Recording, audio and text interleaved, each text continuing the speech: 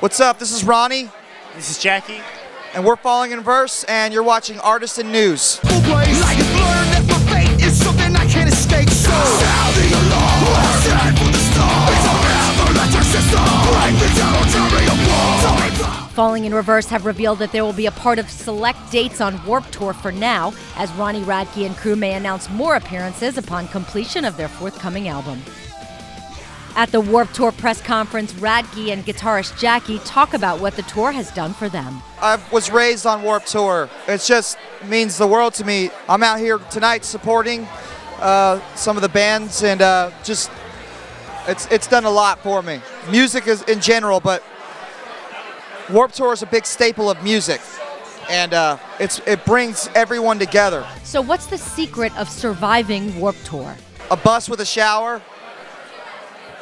Yeah, the shower helps. Yeah.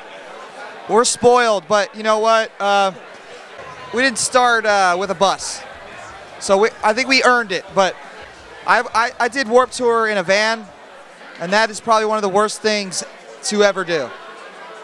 It's bad.